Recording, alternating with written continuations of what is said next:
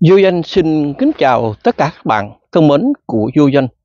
Thì hôm nay Du Danh cũng trở lại với chương trình video. Trước tiên, Du Danh xin cảm ơn tất cả các bạn đã ủng hộ Du Danh qua nhiều cái video vừa qua cũng như những lời comment của các bạn dành cho Du Danh. Một lần nữa, Du Danh thành thật cảm ơn tất cả các bạn nhiều thật nhiều kính thưa các bạn. Thì hôm nay Du Danh cũng có một cái tâm tình chia sẻ cùng với tất cả các bạn tương thương của Du Danh qua tình hình đất nước và tình hình thế giới hôm nay như sau. Thì trước khi đi vào chương trình, Du Danh xin giới thiệu với tất cả các bạn Du Danh đang ở ngay một con đường mòn người ta đi tập thể dục mà các bạn nhìn thấy cây lá vàng úa bước sang mùa thu trong cái khung cảnh của nó cũng rất là tuyệt đẹp. Đó là giới thiệu qua khung cảnh cùng với tất cả các bạn thân thương của Du Danh. Hôm nay là ngày 16 thứ bảy của à, tháng 11 kính thưa bạn ngày 16 tháng 11 mà các bạn nhìn thấy trong cái khung cảnh uh, mùa thu rất là buồn bã đó là giới thiệu qua khung cảnh cùng với tất cả các bạn. Thương thương của du danh. Tôi du danh xin cầu chúc đến tất cả các bạn một ngày cuối tuần vui vẻ bình an bên người thân của chúng ta. Nói đến tin tức về tình hình chiến sự ở Ukraine trong 24 giờ qua mà theo lời của tham mưu trưởng Ukraine ông cho biết và tình hình đang diễn ra khốc liệt nhiều mặt trận mà lực lượng quân đội Ukraine đã đạt được thành công.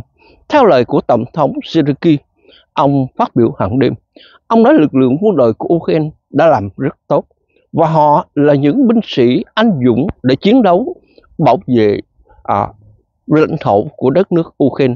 Đặc biệt nhất là tình hình ở tại Kupia và cũng như luôn cả Kuga Kover. Hiện tại lực lượng quân đội Ukraine đã kiểm soát hoàn toàn. Và Tổng thống Zelensky ông cho biết ông nói hiện nay với ý đồ xâm lược của Nga chúng tôi bẻ gãy. Dù rằng chúng tôi không đạt được thành công trọn vẹn lãnh thổ đất nước của chúng tôi nhưng chúng tôi bào mòn quân Nga ở cách khốc liệt chưa từng có. Trong những ngày qua Nga dùng dập tấn công vào thành trì của uh, khu vực uh, Kupian thuộc miền Bắc của Ukraine cũng như luôn cả ở khu vực Borodka, Kuokovo và kể cả là Torres, New York.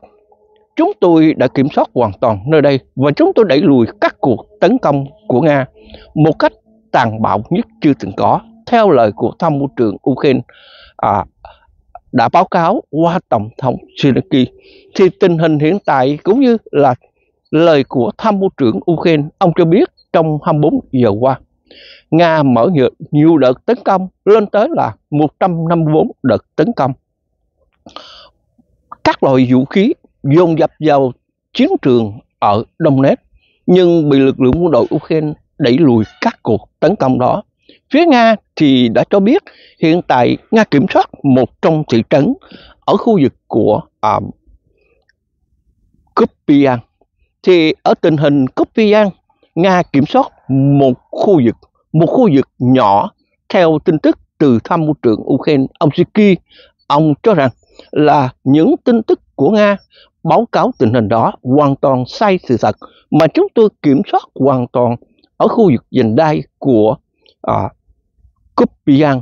Trong vùng này không còn bóng dáng của Nga mà Nga tấn công bằng bom, pháo và luôn cả rocket hàng loạt vào chúng tôi. Tình hình hiện tại khi chúng tôi bẻ gãy các cuộc tấn công của Nga, đặc biệt nhất đó là mặt trận ở Kupian trong 3 ngày qua. Số quân của Nga thiệt hại con số rất là đáng kể và xác xe tăng của Nga vẫn còn rải rác ở trên chiến trường, thậm chí vẫn còn bốc cháy nghi ngút khói. Đó là theo lời tham mưu trưởng Ukraine. Ông Siki, ông cho biết về tình hình trong 24 giờ thuộc khu vực miền đông Ukraine. Thì những ngày qua các bạn đã thấy nó là Nga tấn công như vũ bão vào các thành trì của lực lượng quân đội Ukraine ở các tuyến phòng thủ chẳng hạn như ở Kugakovo, Gobotine, Kupian, Liman và Torres. Thì bây giờ, theo lời tham mưu trưởng Ukraine, ông Siki, ông đã nhấn mạnh một điều là chúng tôi kiểm soát hoàn toàn qua những cuộc tấn công của Nga giả dạng binh sĩ của lực lượng quân đội Ukraine mà chúng tôi bẻ gãy cuộc tấn công đó làm quân của Nga hốt hoảng và không dám tiến gần ở khu vực này. Đó là một trong tin tức từ lời tham mưu trưởng Ukraine, ông báo cáo tình hình cũng là tin tức rất vui, khả quan cho lực lượng quân đội Ukraine. Dù rằng nghĩa là không đẩy lùi ra được, nhưng cũng chặn đứng được đoàn tiến quân của Nga ở khu vực Đông Nét.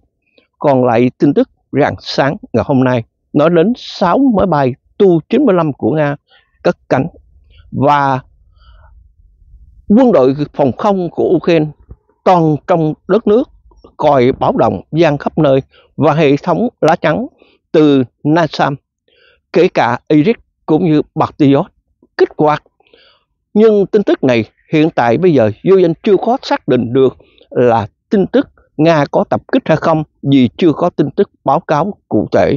Mong muốn rằng là không có những cuộc tấn công đó, mà Nga có thể di chuyển đi những phương khác vì sân bay của Nga ở trong lãnh thổ đất nước Nga đã cất cánh khi hệ thống radar báo động. Đó là chi tiết về việc máy bay ném bom Tu-95 của Nga 6 chiếc cất cánh. Còn lại tình hình ở tỉnh Quốc hiện nay. Theo tin tức từ à, Bộ Tư lệnh ở Quốc cơ đã thông báo cho biết là trong những ngày qua, Nga tấn công dồn dập là Nga Nga là mở những cuộc tấn công khai chiến đầu tiên với 60.000 quân của Nga và bị lực lượng quân đội Ukraine đẩy lùi các cuộc tấn công đó. Nga rơi vào tình thế bất ổn ở tỉnh Quốc trong những ngày qua, sau khi Nga bị bại trận, mà du danh có thưa cùng với tất cả các bạn, đặc biệt nhất đó là ở sông Sen, và cũng như luôn cả những khu vực khác, tình hình hiện tại theo, ở tại tỉnh Quốc về phía Nga đã công phá vào thành trì của lực lượng quân đội Ukraine, đó là Bontalava. Và khu vực Bontalava hiện tại là đang ác liệt chưa từng có, đó là phía Nga công bố, còn Ukraine thì chưa có nêu ra vấn đề chi tiết nào về cuộc tấn công mới nhất của Nga? Thì tình hình chiến sự các bạn đã thấy nói về lực lượng của Nga. Ở trong giai đoạn ngày hôm nay là Nga quyết tử, nhưng trong những ngày qua và cho đến nay, hầu như hai tuần lễ này Nga rơi vào cái tình trạng là những ngày đen tối tồi tệ nhất cho Putin. Vì vậy, ngày hôm nay là cũng có thể là ngày cuối tuần mà theo tham mưu trưởng Ukraine, ông Siki, ông cho biết là giảm cường độ tấn công tức là trước kia tấn công 10 bây giờ tấn công 8 giảm đi 2% thì nó cũng tương đối là đỡ cho Ukraine hơn ở trước tình cảnh này. Bây giờ thì Nga đang trao đảo ở tình cảnh ngày hôm nay, không biết phải giải quyết như thế nào khi Tổng thống Donald Trump, ông đưa ra kế hoạch hòa bình trong 24 giờ. Giữa Nga và Ukraine luôn ở trong cái tư thế là bất an. Vì bất an giữa Ukraine là nguồn viện trợ vũ khí ở cho Ukraine có thể là giảm đi một phần đến hai phần trăm mà theo những gì từ à, các báo chí bình luận. Nhưng điều tin tức đặc biệt đáng mừng cho Ukraine hôm nay là tin tức tiết lộ từ ngũ giác đài đã tuyên bố là các khoản tiền còn lại 7 tỷ đô la. Thì Hoa Kỳ sẽ viện trợ hàng tuần cho Ukraine. Từ đây cho đến ngày Tổng thống Donald Trump ông nhậm chức. Và thời điểm đó là thời điểm dứt điểm à, cái gói 7 tỷ đô la còn lại. Trong kế hoạch năm 2025 tới đây là Ukraine chưa có một kế hoạch nào cũng như từ Hoa Kỳ chưa có gói nào hỗ trợ cho Ukraine vẫn ở trong cái sự chờ đợi của Tổng thống Donald Trump. Đó là một trong tin tức mà Ukraine có thể có vũ khí để tiếp tục chiến đấu, bảo vệ từ đây cho đến ngày Tổng thống Donald Trump. Ông nhậm chức là thời điểm này, tức là thời điểm mà Ukraine phải nói là khó khăn nhất chưa từng có, theo các báo cáo và tình hình từ ngũ giác đài. Ngũ giác đài nhấn mạnh là tất cả các khối vũ khí còn lại là chúng tôi sẽ chuyển giao hàng tuần hàng tuần cho Ukraine. Thì không nêu ra cái loại vũ khí nào và số vũ khí ra sao. Hiện tại ngay bây giờ thì kính thưa các bạn nói đến Ukraine đang cần thiết nhiều mặt vũ khí. Đặc biệt nhất chẳng hạn như đó là quả tiễn tôm sơ đờ đạn hỏa tiễn HIMARS à, và hỏa tiễn Patriot một trong tin tức đang sôi động rạng sáng ngày hôm nay lực lượng quân đội Ukraine đã sử dụng bằng quả tiễn Made in Ukraine đã chính thức tấn công vào ở Bengu và cũng như luôn cả ở tỉnh Quốc Cơ. Theo tin tức từ à, lực lượng phòng không của Ukraine đã cho biết là qua hình ảnh vệ tinh cũng như luôn cả là quả tiễn của Ukraine, Quả tiếng ở Vân Mỹ là trang bị xem là hệ thống radar ở đầu của trái quả tiễn và bắn chính xác trúng ngay một cơ sở quân sự của Nga. Ở bên ngoài đã có hình ảnh và những chiếc xe quân sự của Nga đậu ở trước sân hàng chục chiếc và lực lượng Ukraine đã sử dụng đến quả tiễn này bắn chính xác trúng ngay mục tiêu ở trên nóc nhà. Thì sự thiệt hại của Nga bao nhiêu chưa lên tiếng, kính thưa bạn. Phía Nga thì gỡ đi những hình ảnh đó. Những hình ảnh mà quả tiễn đã gắn camera nhìn thấy rõ mục tiêu thì che đậy mất cái hình ảnh đó theo tin tức từ Nga đã nghĩa là tiết lộ về vụ Ukraine lần đầu tiên tập kích bằng quả tiễn chính Ukraine sản xuất, còn lại ở tỉnh Quốc thì nhiều tin tức là Nga bị thiệt hại nặng nề với hỏa tiễn của Ukraine đã tập kích trúng ngay cơ sở là mục tiêu của Nga là một trong cái ở cơ sở ở quốc phòng của Nga, làm cho một kho đạn bị cháy và chất nổ nổ gian khắp nơi. Tức là hỏa tiễn của Ukraine đang hiệu nghiệm theo những gì người ta đang bình luận về tình hình hiện tại cuộc chiến đang diễn ra hôm nay kính thưa bạn. Đó là tin tức về Ukraine trong 24 giờ. Còn lại về tình hình đất nước Nga thì đất nước Nga phải nói nhiều tin tức hôm nay, đặc biệt nhất là với tin tức mà Putin đang đau đầu nhức óc hết xe tăng bắt buộc phải lấy xe tăng của phim trường xây dựng à, để lôi ra đi chiến đấu. Putin mua lại 28 xe tăng từ T-54 và T-55 kể cả T-60 và T-62. Tức là Putin mua 28 chiếc phim trường phim trường xây dựng để rằng là dựng những bộ phim về thời, thời kỳ đệ nhị thế chiến lịch sử của đất nước Nga bây giờ Putin lôi hết tất cả dù rằng Nga hiện đang sản xuất xe tăng nói đến từ viện nghiên cứu chiến tranh Hoa Kỳ và tình báo đã nhận định cho biết là Nga sản xuất hàng năm khoảng 200 xe tăng và kể cả xe bọc thép nhưng không bù đắp đủ để cho Ukraine đốt cuộc chiến vừa qua kéo dài gần 3 năm nay. Ngay bây giờ tính đến con số xe tăng của Nga mà bị Ukraine đốt cháy là con số vượt mức lên tới gần 15.000 chiếc. Đây chỉ là xe tăng, còn lại là xe bọc thép vô số kể, tính tổng số khoảng 20.000 chiếc. Chưa tính đến loại xe bộ binh. Chỉ riêng về xe tăng, xe bọc thép thì hơn 30.000 chiếc thì các bạn tính xe tăng Nga còn đâu nữa bây giờ đã hết Nga lôi tất cả các vũ khí của Nga cũ kỹ rồi nghĩa là các kho dự trữ của Nga bây giờ thì cạn sạch không còn một chiếc nhìn qua Nga đã công bố những đoạn video vừa qua về à, lắp ráp để sửa chữa xe tăng, nâng cấp để chuyển cho chiến trường ở Ukraine. Thì Nga tuyên bố rằng hàng tháng Nga có thể ra hàng chục chiếc và hàng năm Nga có thể ra từ 200 chiếc trở lên, đủ loại xe. Nhưng cuối cùng Nga vẫn là cạn kiệt về mặt vũ khí. Đó là nói đến tin tức Nga đang thiếu thốn vũ khí ở cách trầm trọng nhất chưa từng có. Về xe tăng, vì nhìn qua tình hình chiến sự mà lực lượng quân đội Ukraine đã nghĩ rằng là những cuộc trầm tráng là với quân đội của Nga. Thời gian trước kia ở chiến trường lúc nào cũng có xe tăng xe bọc thép nhưng bây giờ thì khan hiếm lâu lâu lắm Ukraine mới tiêu diệt được hàng chục chiếc chẳng, điển hình nhất chẳng hạn như cuộc chiến ở tại Kupian vừa xảy ra à, hai ngày nay mà vô danh có thưa cùng với tất cả các bạn là lần đầu tiên ở trong tháng tháng 11 này là Ukraine đã tiêu diệt được là 15 chiếc ở tại khu vực này từ xe tăng, xe bọc thép và kể cả xe chở quân.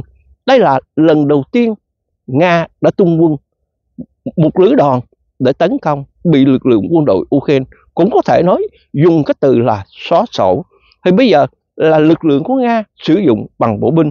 Nhưng vào mùa đông này à, kính thưa các bạn nói đến bộ binh của Nga thì đang gặp trùng trùng khó khăn.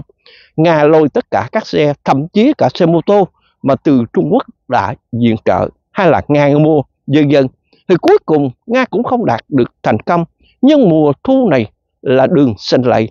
Thì cái dạng mô tô đó, cái xe loại dạng mà xe dân sự, kể cả xe cát cát, không thể sử dụng được.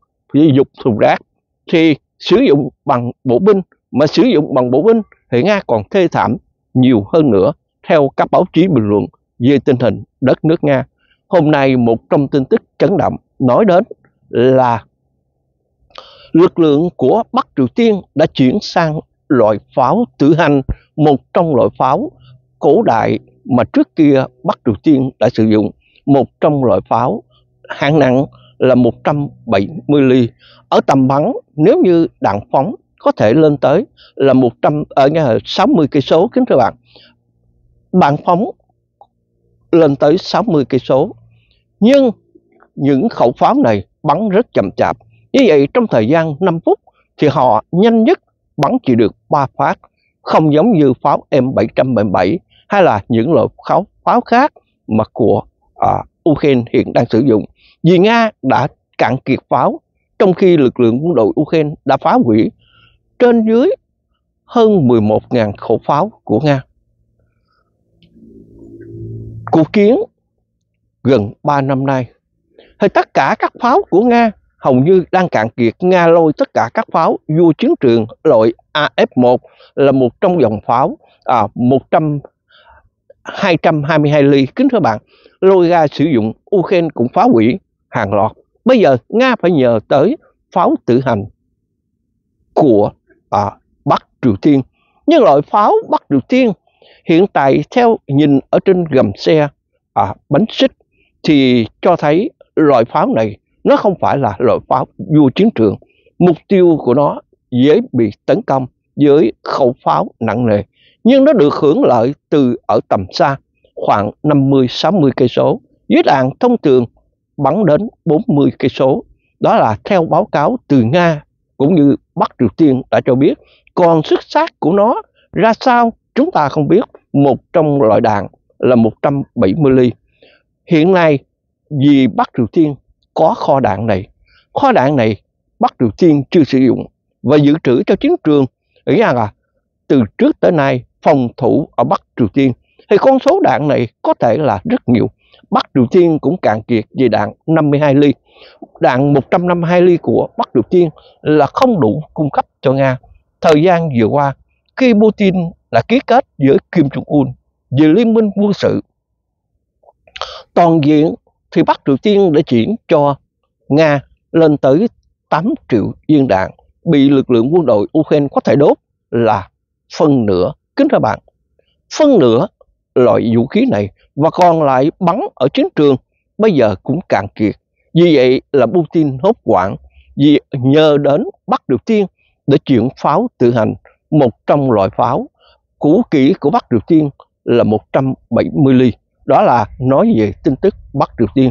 Một trong tin tức đang sôi động hôm nay là Nga đang ngõ ngõ sẵn sàng đàm phán với Hoa Kỳ và kể cả Ukraine. Theo lời đại sứ thường trực của Nga ở tại Geneva, kính thưa bạn, ông phát biểu vào ngày hôm qua và ông tuyên bố cho rằng bất cứ một giải pháp nào chúng tôi cũng đàm phán nhưng chúng tôi muốn nhấn mạnh với Hoa Kỳ một điều là tình hình hiện tại khi chúng tôi đã chiếm địa đất đai của Ukraine là phải công nhận chúng tôi đã thành công và chúng tôi đang gìn giữ khoảng đất đó 20% lãnh thổ của đất nước Ukraine. Vì vậy, bất cứ trên cuộc đàm phán nào cũng phải chấp thuận điều kiện đó với chúng tôi. Và nếu như không, chúng tôi cũng có thể là hủy bỏ về việc đàm phán.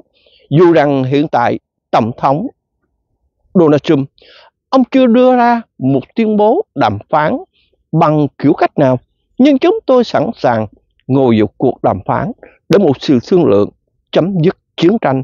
Cái giải pháp mà theo ý tưởng của tôi ngày hôm nay đó là ý tưởng của đại sứ Nga mở ngọ để uh, bước vào cuộc đàm phán ở Liên Hiệp Quốc thì à, cái giải pháp là bắt buộc Ukraine phải nhượng lãnh thổ dung điểm mà Nga chiếm lấy hôm nay dung điểm này cũng có thể một giải pháp đó là dung điểm phi chiến tranh giữa hai bên Nga và Ukraine không có chiến tranh mà cũng có thể để cho lực lượng Liên Hiệp Quốc gìn giữ hòa bình vào kiểm soát. Vì vậy, trước tình cảnh này, theo lời của Đại sứ Nga đưa ra một lời tuyên bố đó, thì dấu hiệu tức là Nga đang tìm mọi giải pháp để à, chấm dứt cuộc chiến tranh. Còn riêng về Putin, thì theo tuần báo Anh Quốc nhận định về Putin tình hình hiện tại là đất nước Nga đang rơi vào tình thế khó khăn trước mắt mà Putin phải tìm một giải pháp, tức là tìm một lá bài để thương lượng với Tổng thống Zelensky để giải quyết tình hình chiến tranh ở cấp bách mà không thể kéo dài thời gian. Nếu như kéo dài thời gian thêm một năm tới nữa, thì đất nước của Nga sẽ rơi vào tình thế là bất ổn và có thể tồi tệ nhất chưa từng có. Theo những gì từ Anh Quốc nhận định, Putin hãy chọn lá bài nào thương lượng lợi giới Tổng thống Zelensky. Cái giải pháp của Tổng thống Zelensky, ông nêu rất rõ, cụ thể, với thông điệp của ông, 10 quan điểm của ông đề ra là một là Nga phải rút toàn bộ quân đội của Nga từ bốn tỉnh lỵ Nga chiếm lấy của Ukraine, Zabivoya, Kherson, Donetsk và Lugansk, kể cả đảo Crimea. Đây là lãnh thổ đất nước của Ukraine.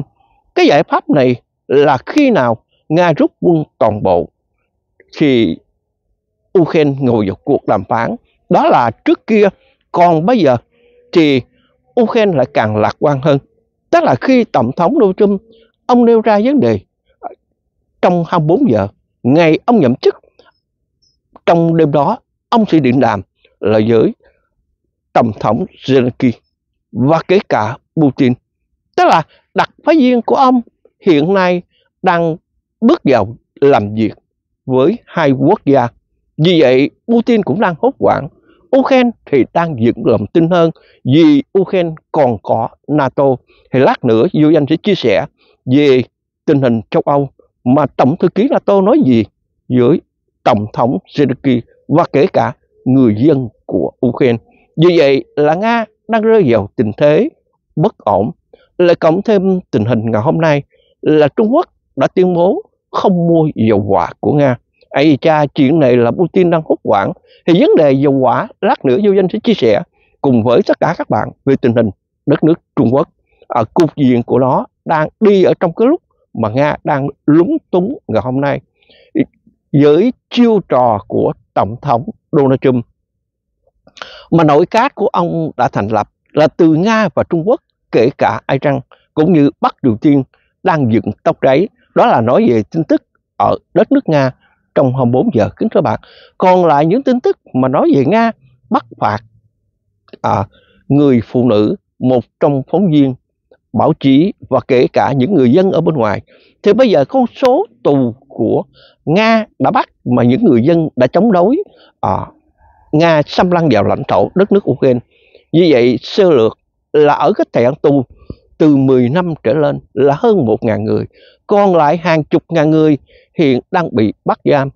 Với những người dân đã lên tiếng là chống đối Putin cũng như kêu gọi là nghe là tòa án quốc tế hãy lôi cổ Putin ra tử hình dân dân nhiều tình tiết mà Nga đang nghe là hốt hoảng.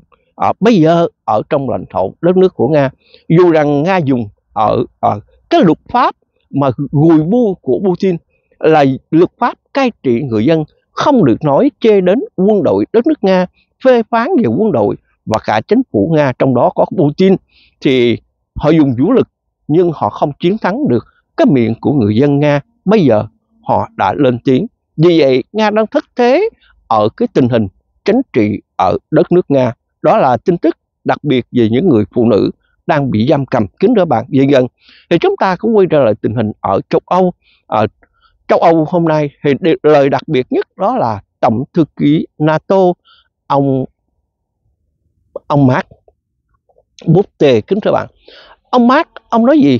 Ông nói là NATO sẽ hỗ trợ Ukraine lật ngược thế cờ để giành lãnh thổ. Ấy cha, ông bữa câu sinh giận làm cho Putin còn nghĩ rằng là cay đắng cay đắng nhiều hơn nữa.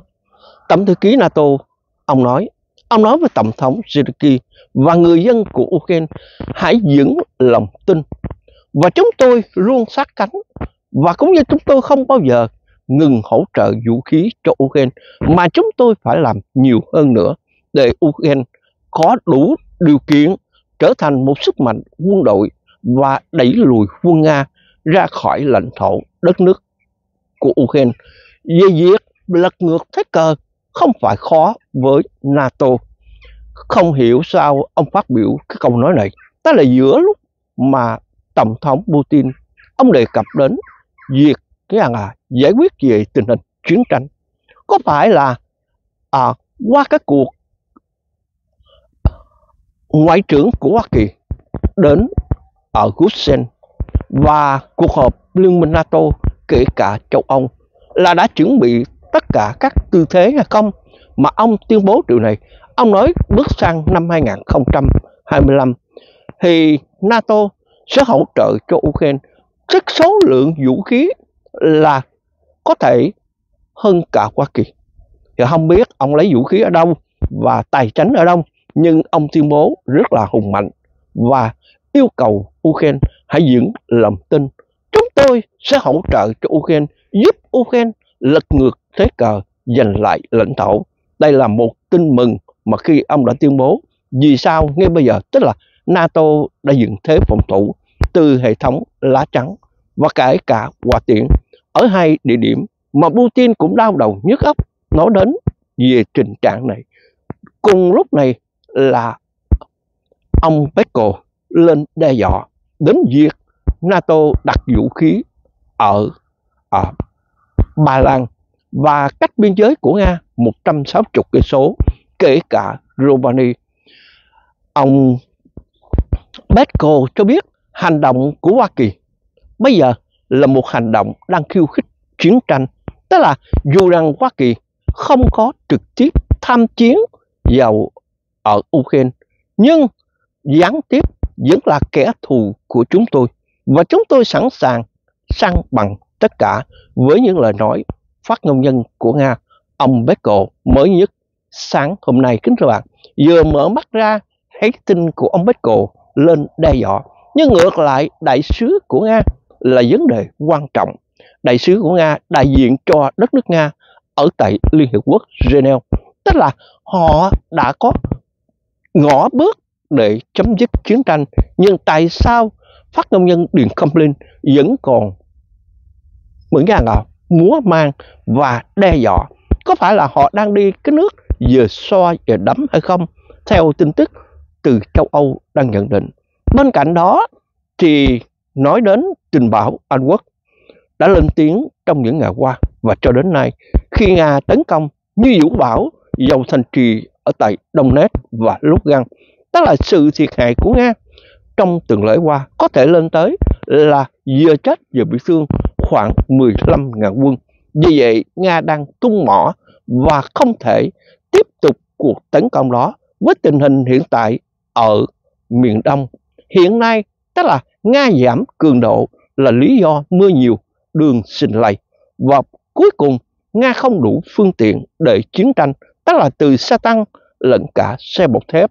Thử một vài dố, dố nào thì tất cả các truyền tuyến của Ukraine cũng là bảy chết. Nga cứ nghĩ rằng áp đảo vào thành trì của Kugakovo là nơi đây ngon lành cành đào vì cách xa là giới Buretka khoảng 10 cây số. Nhưng cuối cùng Nga cũng không thể bao vây được thành trì của Buretka. Nga chuyển sang ở tại Kupia. Kupia là thuộc giữa giao chiến hai miền, miền Đông và cả miền Bắc của tỉnh Kakot. Nhưng Nga cố gắng để xông vào trận chiến nhưng mới vừa đến mặt trận ở bãi miền là đã bị thảm bại. Vì vậy Nga không còn cách nào để tiếp tục tấn công các thành trì khác. Hôm nay thì theo tình báo Anh Quốc nhận định cho rằng Nga có thể quay trục về ở khu vực của Zaporizhia, tức là ở miền Bắc của Đông Nét giáp là tình cao có, đặc biệt nhất đó là ở tại Azovka. Khu vực Azovka có thể là mũi mục tiêu tấn công vì thành trì của Burika Nga đã chiếm, hầu như là trọn vẹn. Ukraine vẫn còn những tiếng phòng thủ ở bên ngoài. Nga tìm cách đẩy lùi nơi đây để nuốt trọn ở khu vực miền Bắc của Azovka. Dấu hiệu đã có, nhưng Nga chưa động binh. Tức là Nga vẫn còn đang lo lắng, lo sợ rằng nếu như bước kế tiếp Nga bị sảm bại thì sẽ bị thiệt hại nặng nề. Điển hình nhất là đại chiến ở tại Cốt Cơ. Đầu tiên là Nga đã thiệt hại là theo tin tức cho biết trên dưới khoảng 2.000 quân, vừa chết vừa bị thương. Chỉ một trận đánh đầu tiên mà Nga đã thảm bại như vậy thì cuối cùng Nga có đạt được thành công hay không? Nếu tính đường dài mà khi Ukraine không có nguồn viện trợ thì điều chắc chắn Ukraine phải thất thủ. Nhưng đã có NATO và Hoa Kỳ sẽ tiếp tục hỗ trợ cho Ukraine. Vì vậy là Ukraine vẫn còn chiếm giữ ở kết cơ thời gian dài hơn. Đó là theo tình báo Anh Quốc nhận định qua các báo chí mà trình bày về cuộc chiến tình hình giữa Nga, Ukraine. Còn lại các quốc gia ở vùng Baltic hôm nay đang ung ung hỗ trợ cho Ukraine về thiết bị mùa đông, vũ khí, nhiều mặt khác cũng như người ta đề cập đến cái gói hỗ trợ từ Hoa Kỳ cuối năm nay là cái khối còn lại 7 tỷ đô la. Nếu như Ukraine có 7 tỷ đô la này thì cuộc chiến Ukraine có thể là kéo kế tiếp và giành lãnh thổ một cách dễ dàng hơn. Mục tiêu của Ukraine là muốn chuẩn bị tấn công vào mùa đông.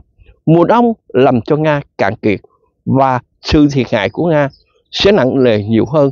Đặc biệt nhất là giới binh sĩ của Bắc Triều Tiên hay là quân đội của Nga. Những tên tân binh mới nhất bước vào mùa đông cái giá lạnh khốc liệt ở miền Đông. Nga không thể chịu đựng được. Thì điều này có đúng hoặc không, chúng ta không biết. Nhưng các báo chí bình luận xôn xao về tình hình Nga là cuộc chiến hiện đang diễn ra hôm nay. Đó là tin tức ở tại châu Âu. Thì chúng ta cũng quay trở lại tình hình ở Trung Đông. Ây cha cục diện Trung Đông 3 ngày nay nói đến lực lượng của Ukraine, à, xin lỗi, của Do Thái đã quân kích vào ở Liban và kể cả thành trì của Gaza một cách tồi tệ nhất chưa từng có. Theo lời Bộ trưởng Bộ Phòng Do Thái đã công bố cho biết là trong 3 ngày nay, lực lượng của Do Thái đã phá hủy 140 bệ phóng tên lửa của Ebola. Tất cả các khu vực ở trong thành phố, kể cả bên ngoài, ngoại ô của Liban, và những cuộc quân kích đã phá hủy bình địa và cộng thêm hạ sát thêm hai cấp chỉ huy của Hezbollah không phải do Thái quân kích ở tại nơi đây không, mà còn kể cả ở Syria trong ngày hôm qua rạng sáng hôm nay các cuộc tấn công quân kích vào Syria luôn cả ở trong thủ đô của Syria đã bị nghĩa là những quả bom và những cọc quả, quả tiễn từ Do Thái nhấn chìm nhiều mục tiêu còn sự thiệt hại bao nhiêu thì chưa biết. Nhưng riêng một điều nói đến là tổng thống của Abbasad nói chúng tôi đã sử dụng đến hệ thống phòng không cổ đại của chúng tôi là chơi hết mức luôn, hết gân, đó là Sam 2 hệ thống này Việt Nam cũng có, mà vừa qua kéo ra để bắn thử. Nhưng không không ngăn chặn được là máy bay quân kích của Do Thái.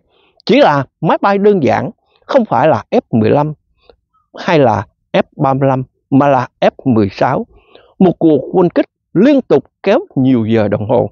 Và sau khi đó máy bay Do Thái trở về bình an.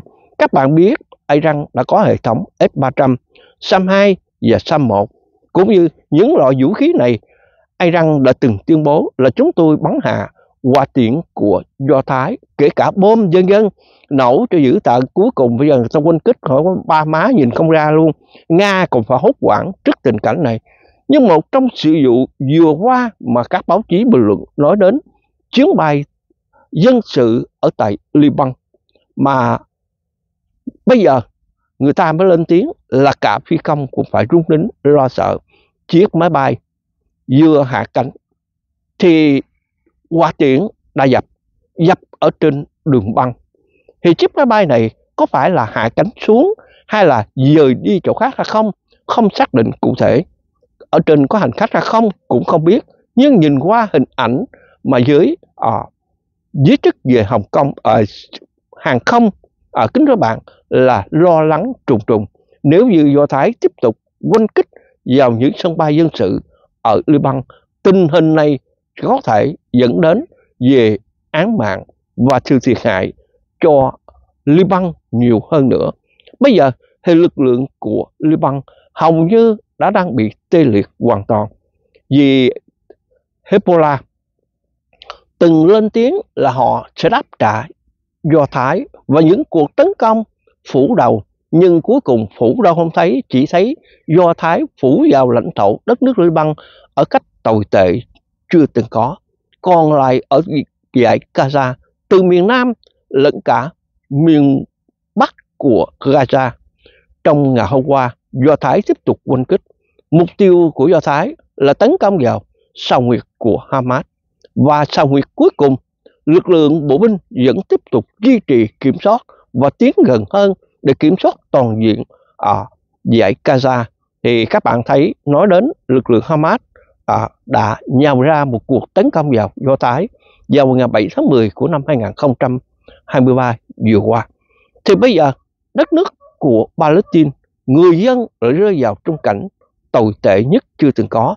Hamas hôm nay đã tuyên bố kêu gọi Do Thái lệnh ngừng bắn và họ sẵn sàng ngồi vào cuộc đàm phán để trao trả con tin. Thì theo tin tức từ giới chức của Do Thái đã lên tiếng cho biết là việc mà Hamas kêu gọi hay là tuyên bố đối với chúng tôi vô dụng mà bắt buộc do Thái chúng tôi phải tiêu diệt. Còn nếu như Hamas muốn đàm phán phải hành động từ bây giờ, tức là phải hành động trao trả con tin. Số con tin hơn 100 người còn lại hãy trao trả. Nếu như không, chúng tôi vẫn tiếp tục quân kích và chúng tôi sẽ lần lượt kiểm soát hoàn toàn lãnh thổ đất nước của Palestine, thay đổi chính phủ và lập lại trật tự mới. Thì cái câu này kính thưa bạn không phải là mới đây, đã tuyên bố từ lâu. Vì vậy, cái cuối cùng thì Hamas phải chọn con đường nào? Nhờ ta bây giờ là đã chấm dứt rồi, không có nhờ gì được hết. Mà bây giờ hãy nghĩa là hãy trông cậy vào Tổng thống Donald Trump với lời của ông là tuyên bố ông sẽ tháo ngồi nổ cuộc chiến giữa Hamas và Do Thái. Thì Tổng thống Donald Trump ông sẽ làm việc đó. Những gì ông đã tuyên bố. Nhưng một trong tin, tin tức sôi động mà tiết lộ từ à, Tòa Bạch Ốc đã tung tin thì tin tức tiết lộ này theo báo chí Washington Post đăng tin cho rằng là sau khi cuộc hội đàm là với tân tổng thống Donald Trump giữa ông Biden và Donald Trump là tổng thống Biden, ông lên tiếng. Ông nói, tình hình hôm nay ở Trung Đông ai răng là mối nguy họa cho Hoa Kỳ. Vì vậy, tôi yêu cầu tổng thống Donald Trump ông phải đặt hồng tâm vào đất nước Iran. Đấy là chuyện hiển nhiên vì Iran chuẩn bị đắc thụ vũ khí hạt nhân và điều đó là chúng tôi đang quan trọng nhiều nhất. Tôi muốn Tổng thống Donald Trump ông phải giải quyết dứt điểm về vấn đề Iran. Đừng bao giờ để mối tồn tại này càng nguy hiểm hơn. Đó là theo lời Tổng thống Biden, ông đã rằng là kêu gọi Tổng thống Donald Trump. Thì vấn đề này à, có hay không không biết, nhưng bài báo đã đăng tin như vậy. Đó là chứng tỏ người ta muốn nhắc lại lời nói của Tổng thống Donald Trump vào nhiệm kỳ trước kia của ông. Ông đã từng tuyên bố nói đến việc là không bao giờ để cho Iran đắc thủ vũ khí hạt nhân cũng như hồ sơ và kế hoạch tấn công vào Iran đã có sẵn trên bàn. Hoa Kỳ có thể hành động bất cứ giờ phút nào, nhưng ông không tiếp nghĩa là không tiếp tục cái nhiệm kỳ của ông ở ngang là 46 mà là tổng thống Biden ông nhậm chức. Vì vậy là kế nhiệm 47 này tổng thống Donald Trump ông sẽ tiếp tục giải quyết vấn đề đó. Bây giờ Iran cũng đang dựng tóc gáy lo lắng phải tức tốc đào hầm mà vô danh có thưa cùng với tất cả các bạn những video vừa qua. Vì vậy trước tình cảnh này, tức là Iran và Hoa Kỳ không tránh khỏi cuộc chiến đều rõ ràng nhất. Bây giờ người ta làm khẳng định điều đó khi Tổng thống Donald Trump ông nhậm chức và cũng là cái ngày ông làm việc để soạn thảo một kế hoạch giữa Do Thái và Hoa Kỳ sẽ không kích vào lãnh thổ đất nước Iran. Đó là một trong tin tức đang sôi động về tình hình mới nhất hôm nay. Kính thưa bạn, thì chúng ta cũng quay trở lại tin tức về tình hình khu vực châu Á của chúng ta, đặc biệt nhất là Bắc Triều Tiên. Hiện nay, Kim Jong-un đã ra lệnh là sản xuất máy bay không người lái là tối tân và sẵn sàng tấn công vào mục tiêu. Tức là một trong hệ thống máy bay không người lái bây giờ là Bắc Triều Tiên đang tăng tốc sản xuất và đang thí nghiệm vì Kim Jong-un đã chứng kiến qua cảnh thí nghiệm của máy bay không người lái Kim Jong-un cho rằng thế giới ngày hôm nay là thay đổi về vũ khí thì chúng ta cũng thay đổi về vũ khí, đặc biệt nhất với loại máy bay không người lái này khi chúng ta thí nghiệm, hoàn thành và cũng như đưa vào sản xuất và chuyển thẳng đến cho Putin. Đặc biệt nhất là quân đội của Bắc Triều Tiên hiện đang ở chiến trường ở Kursk. Vì vậy, đây là cuộc thí nghiệm đầu tiên giữa máy bay không người lái. Mà các bạn biết, nói đến việc máy bay không người lái là một trong loại vũ khí dễ sản xuất nhất.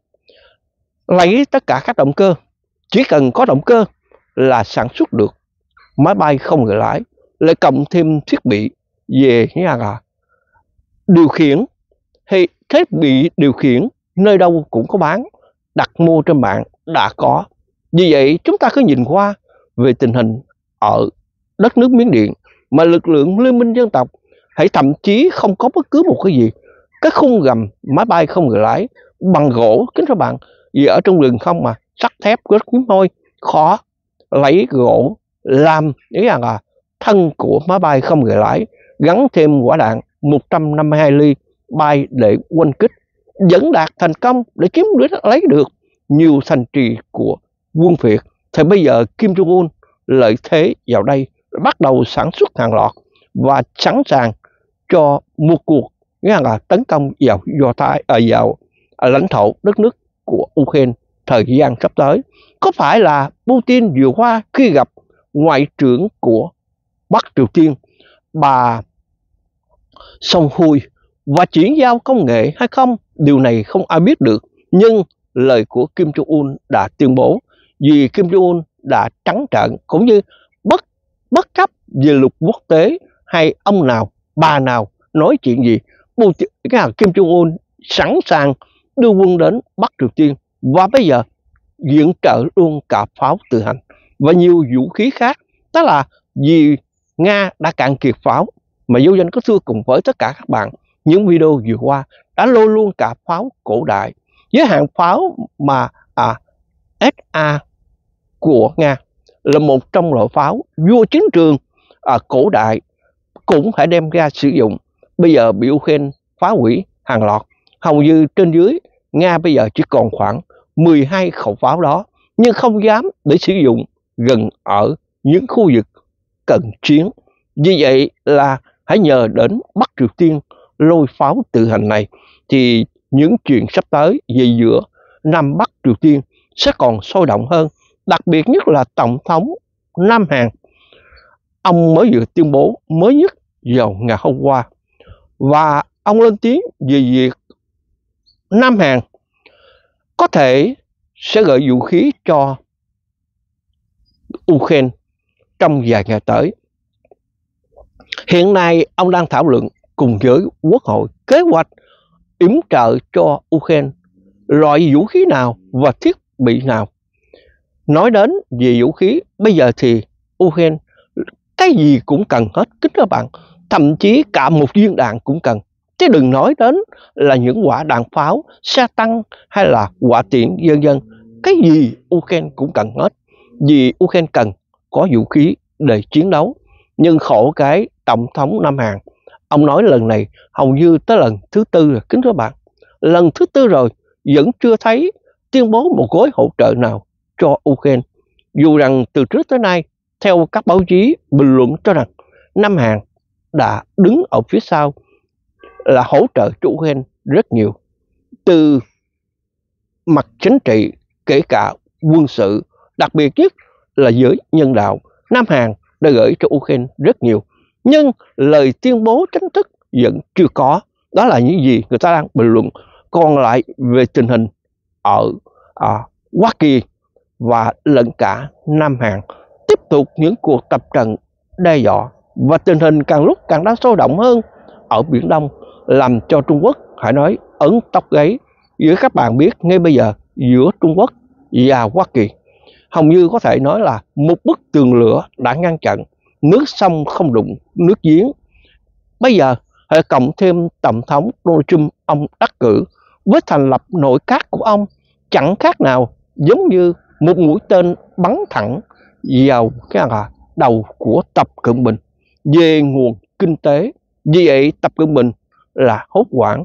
Tập Cận Bình phải ráo riết chạy sang ở Peru sân sau để xây dựng nền kinh tế, đặc biệt nhất là cảng nước sâu ở Peru và cũng như nguồn lợi kinh tế nơi đây của Trung Quốc hàng năm lên tới gần 100 tỷ đô la là một trong con số khổng lồ.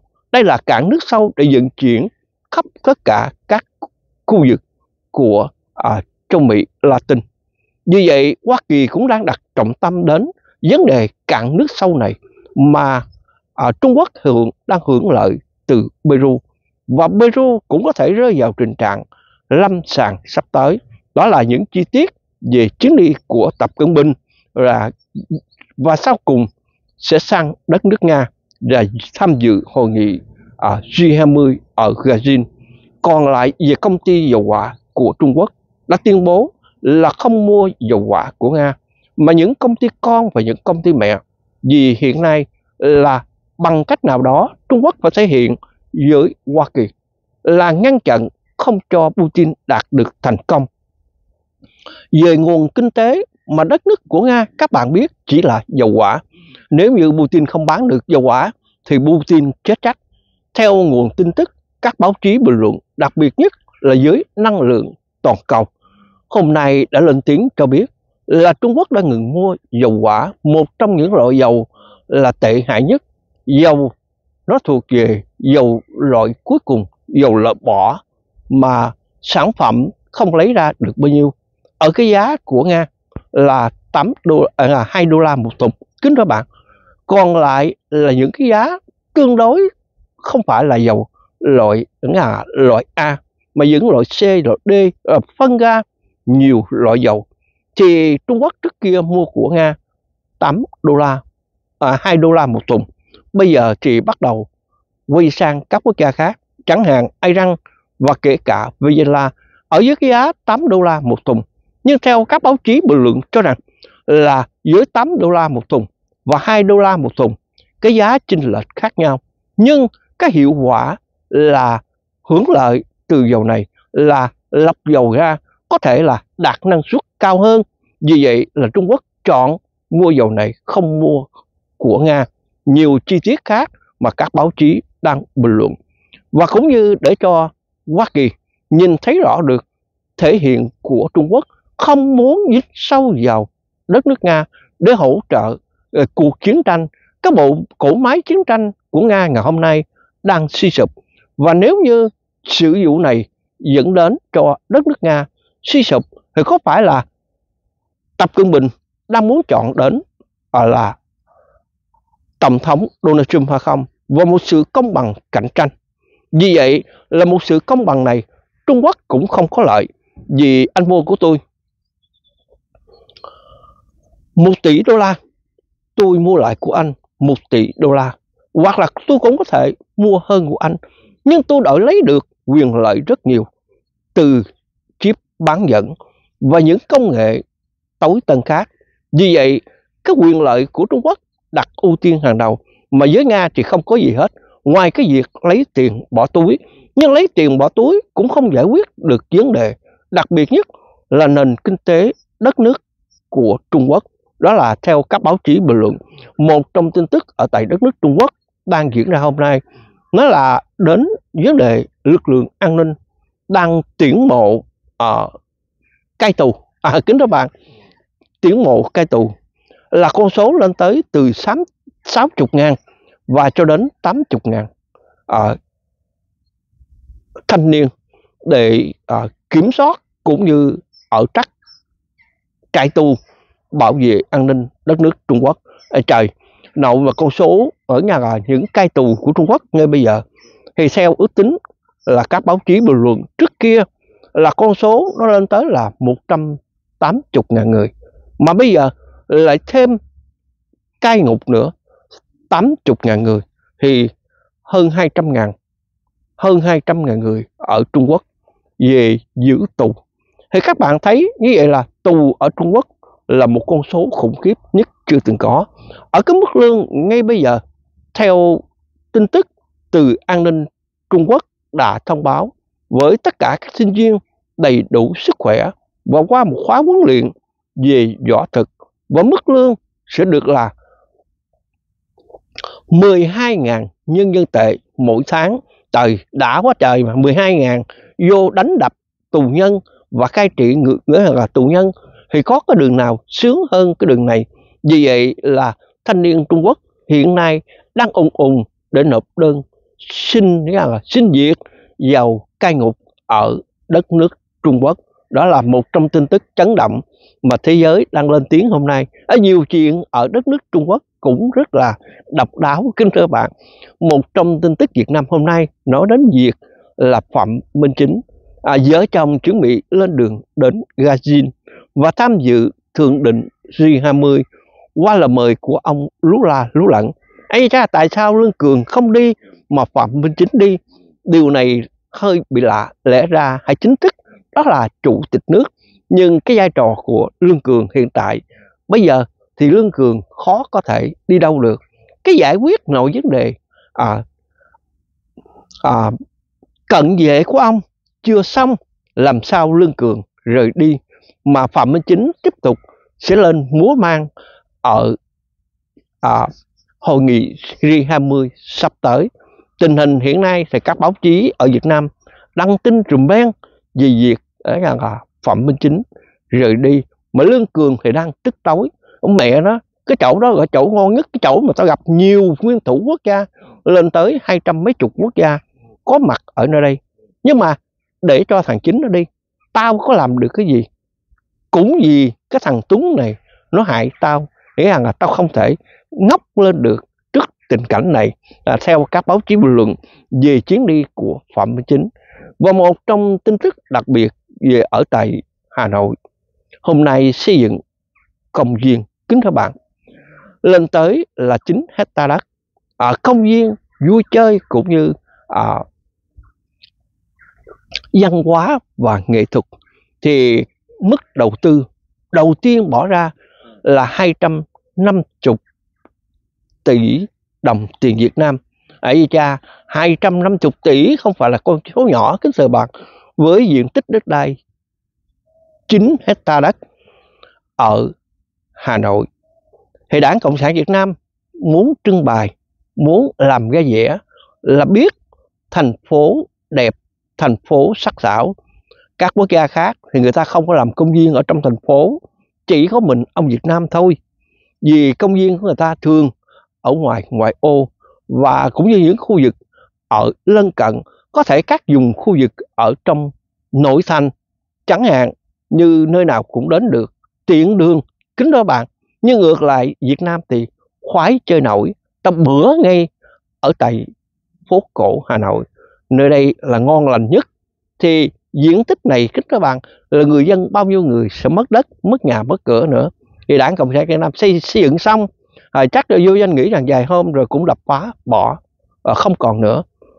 Đó là nói đến tin tức việt nam còn ở tại philippines thì du danh là quên bản tin philippines về là di dời người dân ở trước tình cảnh khủng cấp bão và chồng bão theo tổng thống Marco ông cho biết là bắt buộc phải di dời người dân, hãy chấp hành lệnh của chính phủ là 40 ngàn người trở lên. Ngay bây giờ thì vận chuyển được là con số được 24 ngàn người và tiếp tục hỗ trợ đưa người dân di dời lên những chỗ cao ráo, an toàn vì cơn bão sắp tới. Theo dự đoán từ Philippines cho biết là cơn bão thứ năm ập đến với sức gió 175 km một giờ, nhưng đây chỉ là ước tính nhưng những cơn gió giật của nó rất là đáng sợ hơn ở trong tình hình đất nước Philippines hiện vẫn còn đang lục lội, thì cơn bão lại chồng lên cơn bão và cảnh tượng tổng thống Marco. Ông lo sợ rằng là thảm trạng của người dân sẽ bị xê thảm nhiều hơn, bắt buộc phải di dời và kêu gọi người dân hãy chấp hành lệnh chính phủ đó đến về thiên tai mà không ai ngăn được. Ngày hôm nay, đó là tin tức Việt Nam, kể cả Philippines. Dân vô danh có bao nhiêu có tâm tình chia sẻ cùng với tất cả các bạn. Thân thương của vô danh vô danh xin kính chúc sức khỏe các bạn. Vui vẻ khỏe mạnh cuối tuần. Hẹn gặp nhau. tại Sài Gòn